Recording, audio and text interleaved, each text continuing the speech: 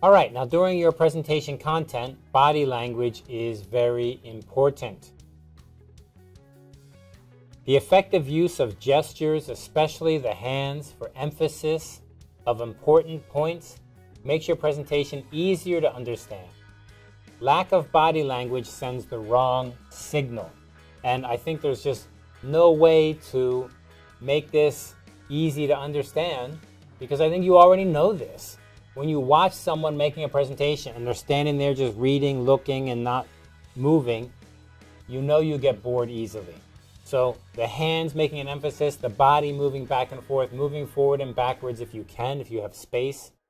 This is all extremely helpful body language.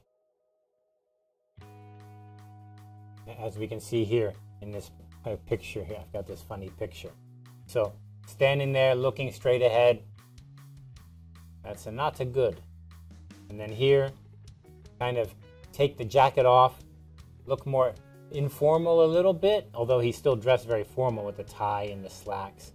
But this kind of leaning forward using the hands, that's good.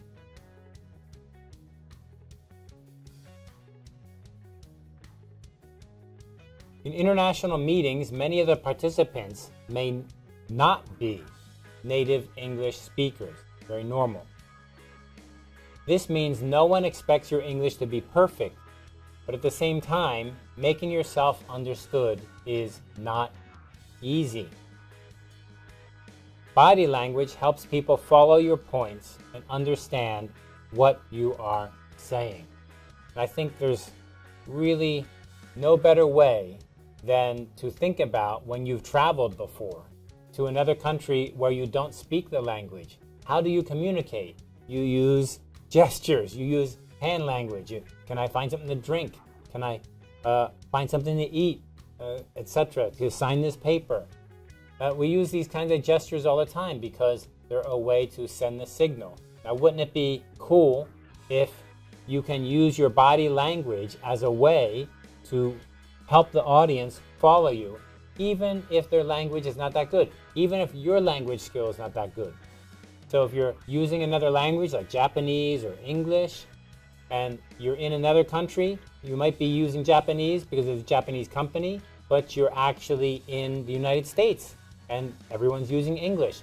It could be you're in a place where no one is an English speaker, but we're using English because it's the common language we can all use. That means no one's English in this context is going to be perfect. So, how do you help that?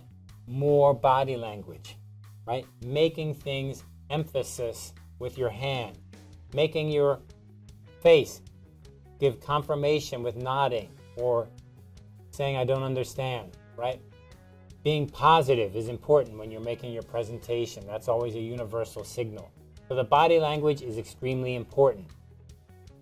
However, people often forget about the body language because they're nervous. This nonverbal communication should always reinforce your points. This means you need to practice your presentation in order to get your words and body language, as well as your slides, all lined up. Everything needs to fit together.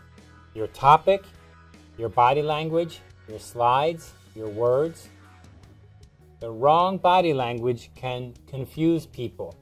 We talked about this in a previous unit. If you're looking at the time, if you're kind of staring at your cards or your script, or you're looking somewhere else, this can make people feel very distracted, like you're not interested.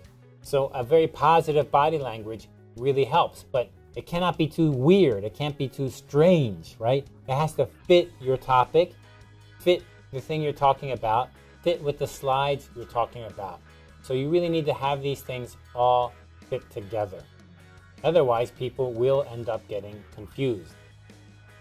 You don't want to overuse body language, which is kind of a weird thing to say, right? But I've seen people overuse it. How do you use it? By using it too much all of the time, you're not making a point clear. You're saying everything is important.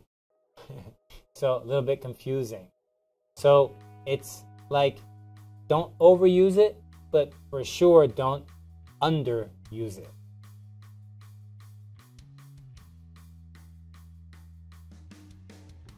Use more at important points and less at less important points. Your body language should show you are confident and relaxed, but remember to always stay professional and never slip into informality or extreme gestures. And on our picture here, we have a kind of graph, right? You know, this is a little bit too crazy and this is a little bit better, right? right? You don't want to be like dancing all around, being crazy. I mean, you know, it's always possible. The audience will certainly laugh if you do that. But uh, yeah, too much is too much. So you want to be careful and not be too distracting. What are the important parts of body language? Well, probably the most important part of body language is not really your whole body, but rather your eyes. Make eye contact with members of the audience and spread that contact around.